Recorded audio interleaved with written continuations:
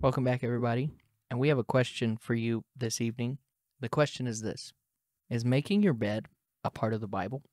Second Kings chapter 2 and verse number 9 reads like this And it came to pass when they were gone over that Elijah said unto Elisha, Ask what I shall do for thee before I be taken away from thee. And Elisha said, I pray thee, let a double portion of thy spirit be upon me. Welcome to Double Portion Podcast. I owe my life to you in every way, for you have paid the price for me. Not everybody at once, please. Welcome back, Double Portion Nation, to another episode. And we are absolutely delighted and thrilled and overjoyed and bubbling with joy because you have chosen to join us for another episode. We're our our excitement is exceeding magnifical. That's a biblical term. Biblical word for you.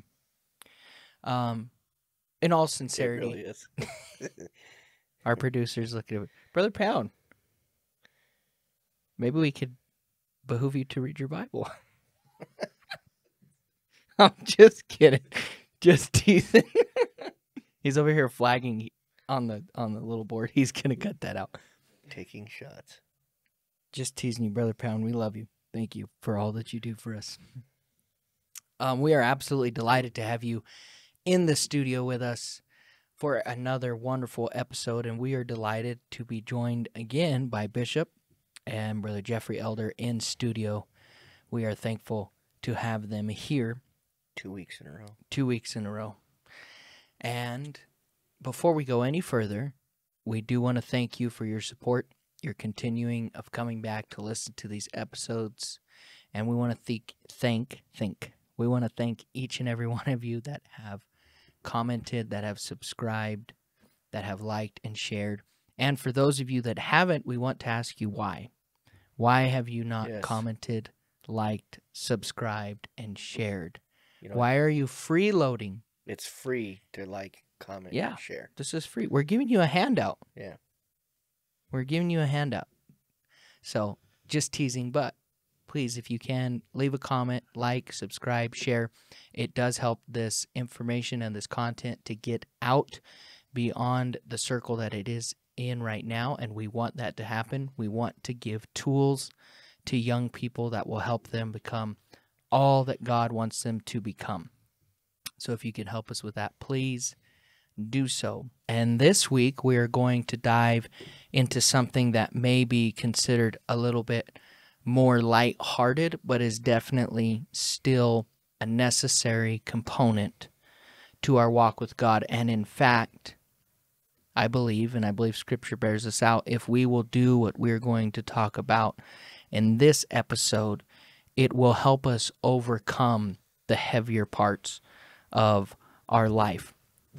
Um, in opening this up, there's two books that come to mind, and I can't remember uh, the complete name of one of the authors. Bishop, maybe you can help me with this, but it's Ordering Your Private World, and I believe his last name is O'Gorman.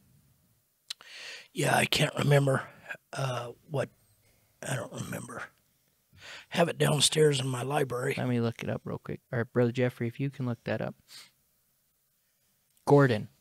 His first name is Gordon. His last name is Mc- MacDonald. MacDonald. Yeah, Gordon MacDonald. Um, this idea comes from that book. And then another book that is probably more well known for a Instagram video that floated around for a while is written by Admiral William McRaven. And he wrote a book titled Make Your Bed. Um, and even in the speech, if you have time, I, I encourage everyone to go watch the speech. He's talking about obviously making your bed, but he's also talking about doing the small things in your life. Um, so if you listen to the speech, he begins by saying, if you want to change the world, make your bed. And he begins to lay out the, his reasoning why you should do that. Well, we're going to come at that same idea, doing the little things in life, doing the small things in life.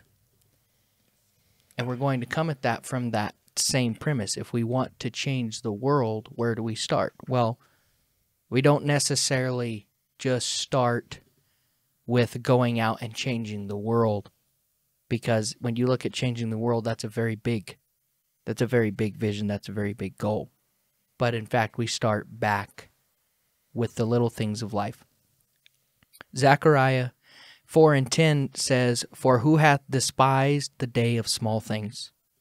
For they shall rejoice. And many of us have sang the song in the bridge. It says, Who are you, great mountain, that you should not bow low? That actually comes from, that song comes from this portion of Scripture. And so we're going to open this up tonight, Brother Jeffrey, Bishop, and we're going to talk about doing the small things in life in order to accomplish the big visions and the big goals that God has given us. Well, it's a delight to be back with you all. It's certainly a delight to be back in studio with Brother Jeffrey and Brother Mitchell. And Brother Mitchell, you're freezing me out. If you could adjust that thermostat, please. It's four degrees outside and he's got the air conditioning. At your request. I don't remember that, but anyway. yeah. Uh, Uh, this is fascinating. There are many things. I, I have heard that Admiral's speech, and it's inspiring. I guess the first time I heard something on this wise was the great coach of UCLA. What was his name? He won like Bobby Knight. no, Bobby Knight was for Indiana. Oh, look it up. Brian McKnight. Uh, he won like 10 basketball NCAA championships. Nobody's come close to winning. He was the one that Lou Alcindor, who later became Kareem Abdul Jabbar, played for. Uh, many great. John Wooden. John Wooden. John Wooden, when he had a new recruit, a new recruit come in, the first thing that he taught them, the first fundamental that he taught them, was how to put on their socks. And he was a stickler for a certain way that they had to put their socks on. And he, the reason why is because if they didn't put their socks on right, they'd get a blister. And if they got a blister, then they wouldn't play right. And if they didn't play right, they wouldn't win the championship. Attention to detail like that is almost an afterthought in our world today because people have just got to the place where uh, they don't understand standards of excellence. But the Bible, speaking of Caleb and Joshua, uh, said they had a different spirit than the other 10 men. The other 10 men were leaders. Every one of the 12 men that Moses sent into uh, spy out the land, into the land of promise, to bring back, they were supposed to bring back a good report. But the Bible says that 10 of them brought back an evil report. But Joshua and Caleb were of a different spirit. And I think, Brother Mitchell, that's what we're talking about is people that observe doing the things that seem like they're not necessary uh, to be a great. We were just listening to some guitar playing and and listening to uh, a shout out to Brother Colton Duty, and uh, I've watched the growth of this young man as he has become better and better. And obviously, you can have all the talent in the world, but if you won't spend the time practicing, the private time that it takes to learn how to really be good, uh, those small things that you're talking about. Everybody wants to play the song, but nobody wants to to learn how to play the song. They just want to play the song, and they don't want to learn the rudiments. They don't want to learn the transitions. They don't want to learn the the inversions. They don't want to learn if you're drumming. You don't want to know the you know. You just want to play the rudiments. You don't want to have to learn the rudiments. And uh, not very many people. I don't know. Even a protege has to practice. So when it comes to that, so uh, those are things that we're talking about today. Well, and a lot of people would say why like for instance we opened up is and we'll answer this if you want the answer to this. You have to listen to the end of the episode. I'm sorry but we will answer the question is making your bed in the bible? But a lot of people would say okay so why why do i need to make my bed? Why here's another another thing that we should do every day. In fact uh, doctors say that you should do this at least twice a day. Why do i need to brush my teeth? Why do i need to comb my hair? Another thing that we we may ask why what do i about need to hats? Just. Why do I Yes. need to wear a hat? Why do I need to wear a hat? we, we cannot um what's the politically correct term here we cannot we cannot uh, point him out because he's wearing a hat Yes. so yes for all the people that that wear hats Socially shame me yeah we can't because I socially wore there a we hat. go we can't Didn't comb my hair. didn't comb his hair um all all of those questions why do i need to polish my shoes? But there is a scripture in song of solomon. It's chapter 2 verse 15 it says take us the foxes the little foxes that spoil the vine for our vines have tender grapes. So we're given this idea that there are foxes that they're, they are little foxes but that they can raid this vineyard and steal the grapes because they are tender. They're little grapes that are on the vine, and these foxes will come in and steal us. So when we are and steal those grapes, so when we take that scripture and lay it back over what we're talking about, we begin to see that it's the little things that eventually build up into the big things that ruin the harvest, that destroy the grapes. So you might say, well, it's just making my bed.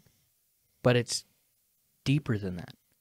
It's establishing the discipline of making your bed. Sure, you can get up and just run off to work, or you can get up a few minutes earlier and make your bed. And and where this goes over into our spiritual lives is if if you can establish the discipline to get up a few minutes earlier and make your bed, then you'll have the discipline there to wake up a few minutes earlier and pray or to wake up a few minutes earlier and read the Word of God.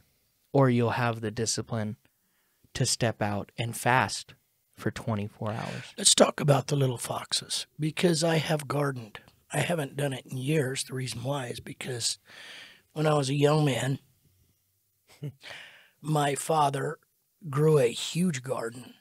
Well, he planted it, and uh, we grew it. Yes. My sister and I, and I know why you guys are laughing. we We're won't go down that Auntie road. Marcia's story. They did all the work. and uh, uh,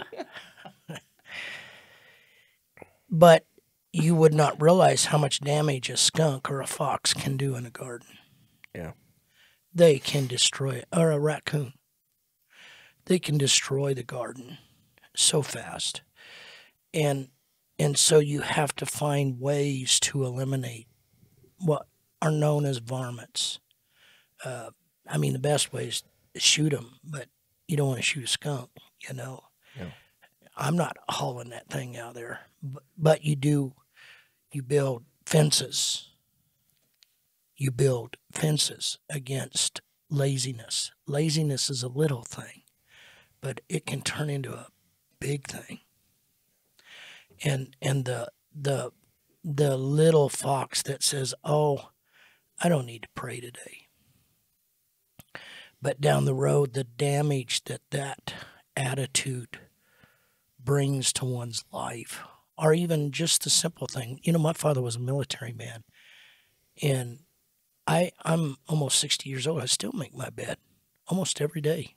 I still make my bed. On Sundays we don't make our bed, but uh, mom on one side she does the bed, and I on the other side. When we get up, uh, we make the bed.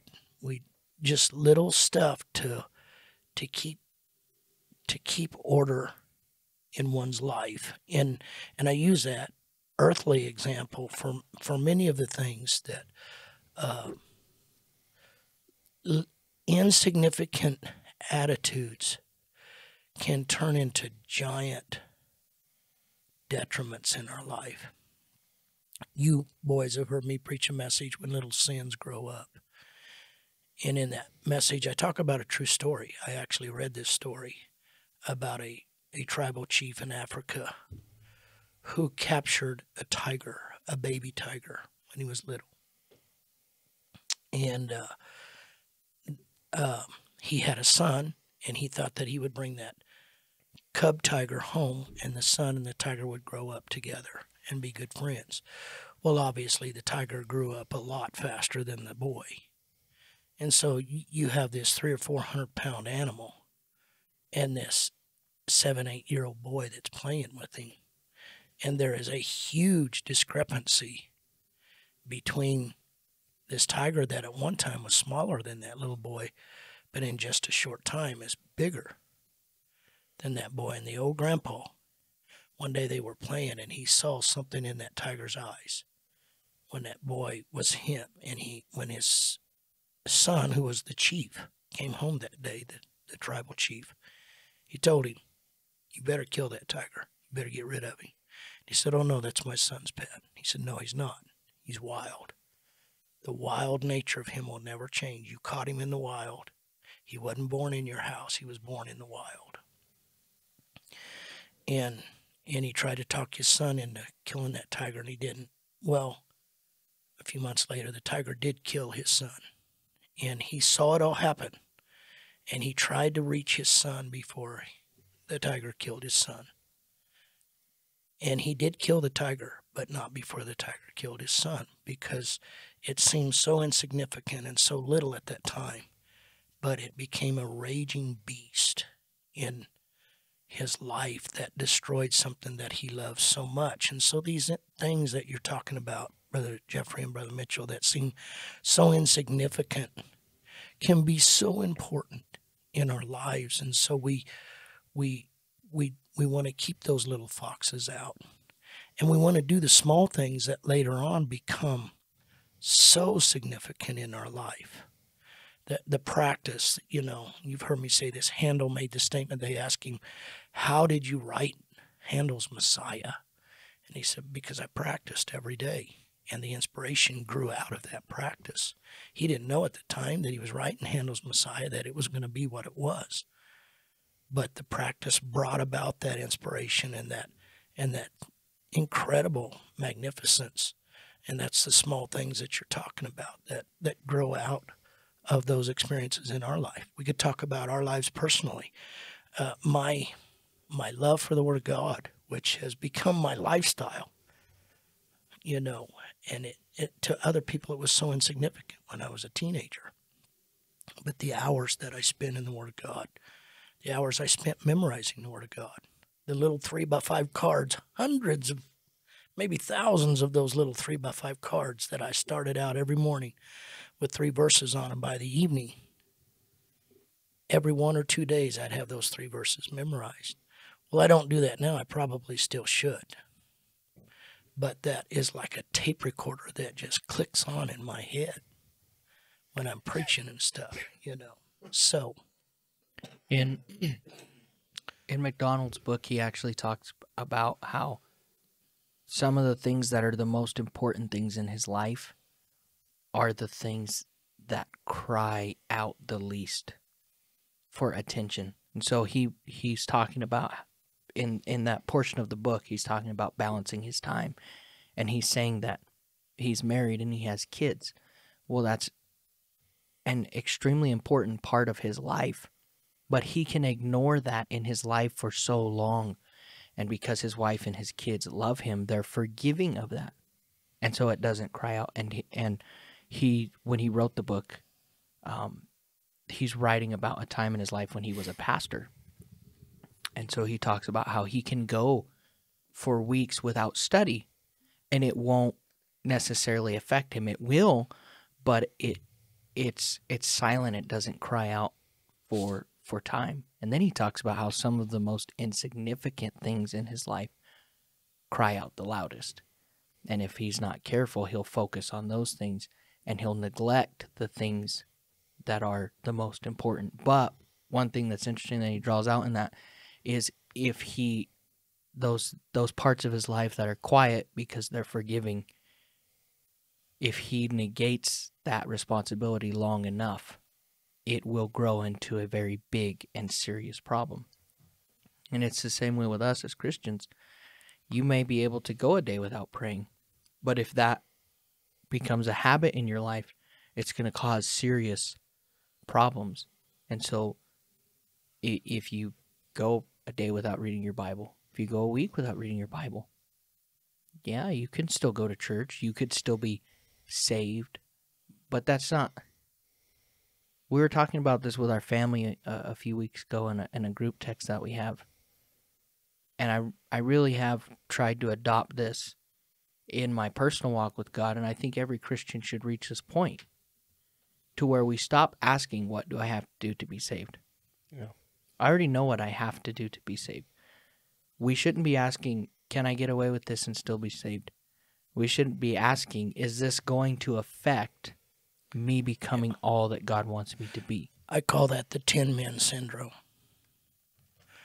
The 10 leaders that they just went over and did what Moses told them to do. Yeah. But Joshua and Caleb, they had a different spirit. Bible says a more excellent spirit. Yeah. They they they they didn't just look and observe, but they they they brought back the spoils of the land and they were willing to do what it took to conquer the land. And the others, it was just so much easier to give an evil report. Right there, Brother Mitchell and Brother Jeffrey, let's deal with this because we're, we're dealing with young people that may not have a father like I had to inspire them. And nobody's going to make you get up and pray. Nobody's going to make you polish your shoes. Nobody's going to make you make your bed. Nobody's going to make you do your homework. Those silent things that that don't cry out to you, and and you're going to be tempted to cheat. Uh, I, you can find cheat sheets all over the web to do stuff anymore. You know, and and you don't realize that one day you're going to need you're going to need the information that you're cheating yourself out of right now. Eh, Let's just use simple little stuff like the first thing that it's a common fact that the first thing they look at when you go in for a job interview is your shoes. It's the first thing they look at. Did you polish your shoes? If you don't have enough discipline to polish your shoes, you know, and and just simple little stuff like that that my father taught me, but you may not have a father to teach you that. Nobody's going to make you go to church if you don't have parents that make you go to church. Nobody's going to make you. Somewhere you got to get a spirit of excellence in you that these small things that seem so insignificant are not small and they're not insignificant. They are they are massive. Sadly, I didn't I didn't even learn how to run a checkbook, which is obsolete anymore almost. Till I was in my late teens. Nobody taught me how to run a checkbook. Nobody taught me that my name was so valuable Mm-hmm. that I could leverage my name. And my name was worth more money to me than a lot of the things that I thought that I could buy to make money. And I had to learn little by little these things. And some of them were by trial and error. And and learn how to pay my tithe and offering. Nobody's going to make you do that, young man, young lady. These are things that that are so important to your success in your life Yeah. and and and in in a marriage learning how to talk to your wife learning how to talk to your husband learning how to be angry and talk about issues without insulting one another uh, where where do you learn that you know do you do you have a certain way that you just blow off and when you get mad you call your wife names and wh- where did you learn that where did that little fox spoil that vine did you control your thoughts when you got angry? Were you able to, in your mind, say, "Now, now, hang on a minute. She may have a point there. I'm hearing her different. and I'm angry right now, and I'm not really thinking this through. And and learning how to to do those things that those little things that makes a marriage so successful. The compliments instead of the criticism. Opening your mouth and talking to your wife instead of just assuming that she knows that you love her or whatever. And I can't speak for ladies because I'm not a lady, but I know that there are ways that I will tell you this speaking faith into your husband's life is massive. Young lady, and you say, Well, I need faith in my life. Well, if you'll speak faith in his life, he'll speak faith in your life. And and just little things like this that are so important. Uh, this comes out of your private world. Nobody's going to make you do that. You can be as big and as bad as you want to be. You can have the vilest mouth that you want to have, especially in this world. In fact, they encourage you to have a filthy mouth in this world. But out of your life, are you going to follow the scripture that says, Let no corrupt communication proceed out of thy mouth, but that which is good to the use of edifying, that it may minister grace unto the hearer? Yeah. a few months ago, I was listening to a man of God preach, and he made the statement. He said, "If you want," he said, "if you want victory in your life," and he was talking about addiction. He said one of the first things he'll tell. He's a pastor. He said one of the first things he'll tell his saints that want deliverance from addiction. He'll tell them, "Wake up by seven, and wash your car once a week." And you think about that, and he said they'll they'll ask him, "Pastor, I don't." Why are you telling me this? Wake up by seven, wash your car once a week and it's the same principle that that this admiral admiral admiral writes about in his book the reason why you make your bed and the the the pastor says because when you begin to learn how to win the little victories that I woke up by 7 my car is clean it's in order he said it begins to build a perpetual motion of going forward and you win a little victory and then you win another little victory. And eventually, just like if you ignore these things, all these little problems build up into this giant problem. If you begin to win the little victories, you wake up by seven, you make your bed, your car's clean, you begin to build up to the point where you have momentum and you begin to win bigger victories. And you begin to win bigger victories, and eventually you look back and you have fought your way through addiction or at some point in that God has delivered you from addiction somewhere, whether it's miraculous and instantaneous or it's a slow day by day process. Somewhere in there, you will look back and say, I conquered that sin. But it all started with the little victory. Yeah. It all started with if you did nothing else in that day, you can get into a clean car and there is that victory of the day at work might have been horrible. You might not even have woken up by seven. You might have woke up late. You didn't have time to make your bed. You didn't have time to comb your hair. You didn't have time to brush your teeth. But when you make it out the door to go to work, all of a sudden you've stepped into a clean car. And it's that reassurance that the world may be chaotic, but I at least I won this victory here in this place of my life. They have they have found that there's a psychological effect when you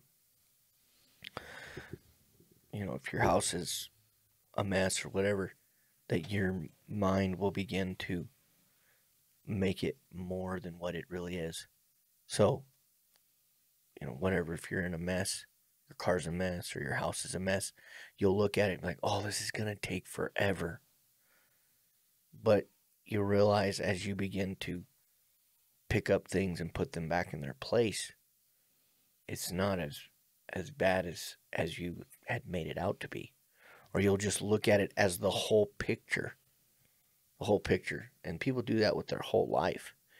They look at their whole life that's a mess and they look at the whole picture and they're they're seeing an image of, of what perfection should be. This is what I have to be to be perfect. And so like Brother Mitchell's saying, you just have to start with a, a small thing. Some, uh, let's deal with another deal. There, there are perfectionists. There are people that just, they're they're OCD to the max. You know, if you move their pop at a restaurant a half an inch, they've got to move that plate right back or that glass right back to where it is. That is an obsession. Yeah. That that needs to be dealt with. Sometimes life can deal with that, but they are the ones that have the hardest time Oh yeah. because they don't realize it. Uh, they have a difficult time learning how to play a music instrument because they want to know right now. They want to be able to sit down and play Tchaikovsky or Chopin or or or some apostolic song, you know, that's just phenomenal. Yeah. Uh, I went from one extreme to the other there, classical to apostolic. I, I can relate to that in music because I can hear so much Yeah. what's happening, but when I go to play the piano, it sounds like Ned in the first grade. That's where you have to start. It's getting better, yeah. but I, I can relate to that. Well, and it's like a a piano player that does does not realize the years of discipline that it lear- just learning transitions. Yeah. There are so many different transitions that you can learn. You can you you can learn tr- jazz transitions. You can learn uh, fusion transitions. You can learn uh, country and western transitions. You can learn classical transitions. You can learn blues transitions. Some of them are similar, and a, a lot of the chord arrangements and, and note arrangements are, are are similar, but but it takes years to learn those different variations. And if you're going to be a good husband, there's that is a big deal, you know. And and you have to have the want to to do these little things in Yeah. private time. Uh, you know, you want to give her a massive house. Just start out giving her a single rose. That's all you can afford right now, dude. And and make and let it be sincere. Uh, you know, Well, that's our society because as young people, we see what mom and dad have over a 25, 30 year period. And then we are like, well, I'm going to have that. Well, the way that we get it now is we just go out and mortgage charge it. Yeah. But that's, you, you can't start there. Yeah. In Luke 19 and 17, Jesus said, And he said unto him, Well, thou good servant, because thou hast been faithful in a very little, have thou authority over 10 cities. And so this is what we're talking about, young people. If we if we in our youth will make it a discipline to take care of the little things, if we'll do it right now, if we'll like that man of God said, and try it. Try to wake up by seven every day and wash your car once a week. Do it. Fine. and and this is kind of a different topic, but it it is needed, especially for for our our youth in this world. Find something difficult and do it. Find something hard. Find something that challenges your mind, challenges you to think.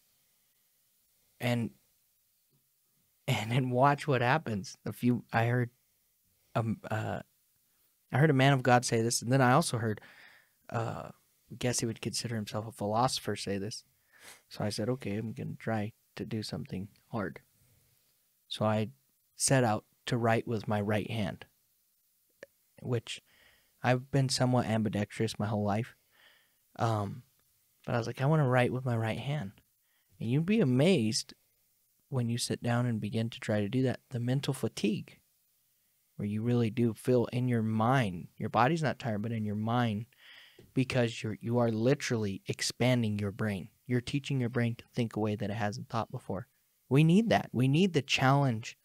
Do something hard. But back to the topic. If we begin now in our youth to do the little things, to catch the little foxes and to put them out of the garden of our life. And if we do the little things now of tending the garden spiritually and caring for the soil spiritually, praying every day, fasting once a week, fasting once a week, 24 hours if it's possible, reading our Bible, a chapter a day, if that's all you can do, a chapter a day. If we begin those now, we will eventually reach the point where this steward reached, where the Lord looks at him, the Lord of his life, and for us it would be Jesus. And this is not, I don't believe that this will happen in our lives in eternity. I believe that this is a place on earth where we will reach a place on earth where God says, okay, you have been faithful in these little things that I've given you. Now I'm going to make you a steward of something great. Another little thing, another little fox that will catch us. And it's not really a little fox, but it's things like paying your tithe. Christians pay their tithes. Bring their tithe. Yes, we bring our tithe to the storehouse. There's no way around that scripturally. Literally, from Genesis all the way through, tithing is in our Bibles. NoTithes.com is not right. NoTithes.com is. yes. It's, it's, what, what is that? It's a little fox. It's a little fox. Well, I'm, I'm only, it was 10 bucks. So it's a dollar. Well, it's such a little thing. It's just a dollar. But it's not. It's a little fox that's trying to get in your spiritual vineyard. And then you will reach a point where in Malachi he said, You are cursed with a curse. And so all of the sudden, that little dollar bill that we refused to pay, not because we needed a dollar bill, but just because we're fallen humanity that wants to rebel. And that's my dollar, but it's not your dollar. It's God's dollar. Yeah. And, it's so insignificant compared to the 90% of blessing that God has given. Yeah. And eventually we reach a point where we're cursed, and that little dollar has become a curse from God in our life. And in another place, it talks about how your money bags have holes in it. And you're trying to figure out why you can't make ends meet. You can't make ends meet because God has cursed your finances. And with that curse on your finances, you're never going to make ends meet. You're never going to find happiness in the money. You're going to find happiness when you go back and catch that little fox and put him out of the vineyard. Uh, was it this? It was this last week, Bishop. We had uh, brother pastor Paul Bertram with us, and he talked to our church a little bit about tithing, and he said something that was really interesting that just jumped out to me. He said that God allots us to live on 90%. And so many times in scripture, money is depicted as a God of this world. Well, we know that there is only one God. And so there's a couple things that jumped out to me. One of them, it's as if God asks for 10% because God doesn't need my money. Now, I'm not asking, should I or should I not pay tithe? I know I should pay tithe. But why? Why does God need 10%? I understand, bring ye the tithe into the storehouse. storehouse. Better say that right. that there may Might be related to some of those. Yeah. Brother Jenkins. Yep. Bring ye all the tithe into the storehouse, so that there may be meat in my house. I understand that, and it, and I understand what the tithing does. But why, why would God ask for ten percent? Why would He say that this ten percent is mine? It's not yours, which takes away from the hundred percent. And I think one of the reasons why is to see if if money is a god in our life. It's a test for us. Like you say, it's a faith issue. Can I give 10% to God and say, I trust Him that He will allow me to live on 90% and mm-hmm. He will make ends meet, even if there's no way for the ends to meet, because I've shown Him that He is God in my life, not my finances. But another place that my mind went to is in the book of Hebrews. It says that Jacob worshiped leaning on his staff. And then you go to the book of Psalms and it says, Lean not unto your own understanding, but in all your ways acknowledge him. And so there's this aspect with, with tithings, but really with everything, where we're really not leaning on our own might. There's always an aspect where we are leaning on God. And it's the same way with tithing. I know that's taking us a little bit off topic, but it's just we're well, here. So. It is. It, it- you don't have to be 25 years old before you establish these these rudiments of faithfulness that are so vital and so important. These seeming little, seemingly little and insignificant. And uh, you know, not to go over this again, we we've done some uh, podcast on tithing. I did one a few weeks ago on how to be restored to God. The first place you start, according to Malachi, is by bringing your tithe and offering to God. And this is the only place in the Bible that I know of where God said, "You prove me, prove Yeah. me, see if I won't open you the floodgates of heaven." And pour you out a blessing that there shall not be room enough to receive it. That's a powerful statement when God says, Prove me now herewith, if I won't do this for you. And and that is uh, that's one of those little foxes or one of those little private things that you establish where people scratch their head and say, Man, that guy don't seem like he's that smart where what how is he being blessed like that? You know it's that secret thing that that people overlook. It's like your prayer life. People overlook that but that's massive. In god opening doors. The bible says when a man's ways are right before god he makes even his enemies to be at peace with him. That's an incredible statement especially in the day and age, day and age that we live in. And personally to my knowledge I don't have enemies. I, I'm sure I do because the devil hates my guts, which he is my enemy. I hate his guts too. But I'm talking about with people uh, knowingly. I don't have intentional people that that I consider my enemies. I have ideology and I have spirits and I have different doctrines that I am opposed to and they are my enemies, but not people. But even when I when I get right with God, I do these private things that you're talking about. He makes, the Bible says, He makes even my enemies to be at peace with me. And, and that, that word peace is massive in our world today. Jesus said, I will keep them in perfect peace whose mind is stayed on me. And uh, my peace I leave to you, with you, not as the world giveth, but my peace these these are significant things, young man and young lady, and whoever's listening or watching this, uh, that that as we grow older, if you're not careful, you can begin to slide away from some of these things, and uh, that's a big deal. That is a big deal. Because when you begin to slide away from these things, then those little foxes will creep back in and they will try to make their way into the fruit. That's what they're after. They're after the fruit of your life. Yeah. The fruit of the vine, the fruit of mom and I, we accidentally grew a huge pumpkin in our backyard.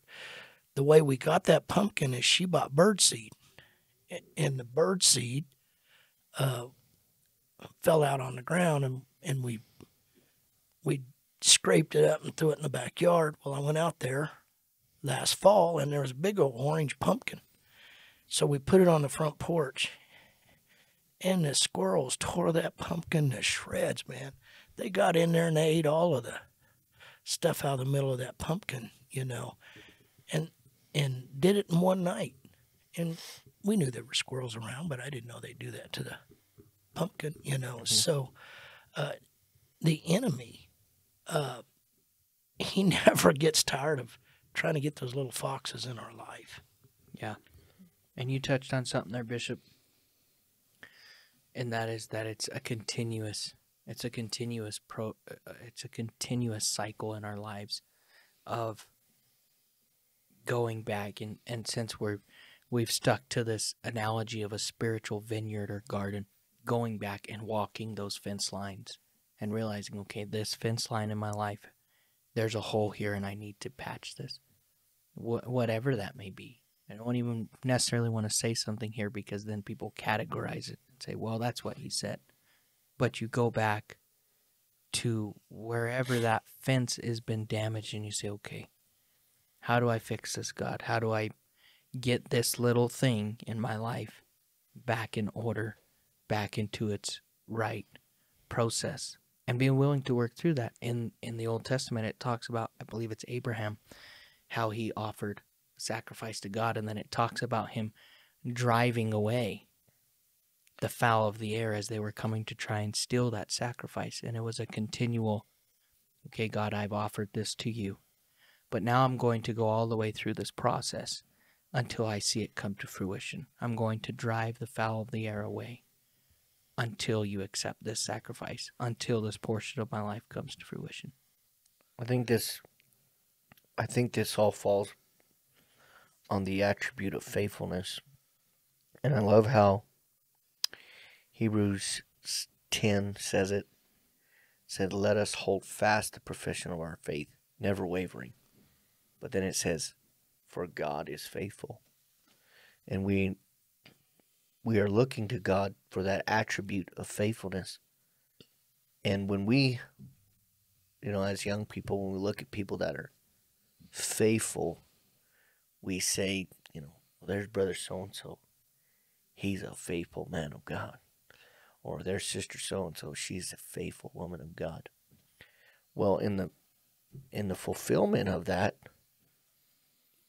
we're not really going to be faithful until we reach heaven. And he says, Well done, thou good and faithful servant. That is us being full of faith. We have reached heaven. But we we look at them, we look at the battles in their lives, and we could look at the small or the foxes in their life that they have overcome.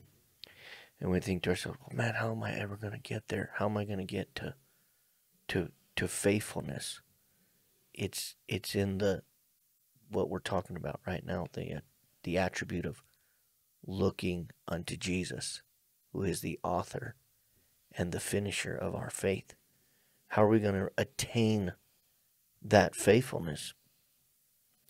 And so, if it is, why, why is it that when you're praying, you, you have a good prayer meeting one day, and then the next day, it, and this could happen every single day, you could have a you could have a Holy Ghost blowout every single day, and the next day you go to pray, and the devil's like, "Hey, man, you don't need to pray today. You prayed so good yesterday. That Holy Ghost is going to get you through today." Oh yeah. you know, and but but to overcome that is the process of faithfulness. It is holding fast the profession of your faith, never wavering. No, I'm going to pray today. No, I'm going to read the Word of God today. No, I'm not going to look at that today. There's never a time to say, well, let's just, let's just, just one time, you know. Yeah. Never a time to do that. Hold fast the profession of your faith, never wavering. And then we will eventually hear, well done, thou good and faithful servant. To me, that is the definition of faithfulness. I'm trying to be faithful right now. I'm doing my best. But there will be one day that I am full of faith. And that's when I reach those streets of gold. It's good. Well, young people, we hope that this has benefit benefited you in some way, shape, or form. So we're back to the video in the beginning. In the beginning. Now we're back to 11:30 at night in the studio. Oh, thank you for joining us in this episode. Before we close it out, a couple things. Um, we do strongly encourage you to read those books that we mentioned at the beginning. Also, a couple other resources that talk about this very subject. One of them is a podcast from Biblos, and it's called, I believe it's called "It's All in a Day." Another resource would be um, if you go into CGC Pueblo Live on YouTube, or you can download our app, CGC Pueblo. Brother Nathaniel Urshan preached a sermon here a couple weeks ago, and he titled it, It's All in a Day's Work. And he talks about this very thing doing all that you can do for God in a day, doing the tasks that are set before you. Those are excellent resources that will also help you with this topic. Once again, we love you. Thank you for joining us. If you liked this, uh, if you liked this podcast, please like, subscribe, share it leave a comment down below.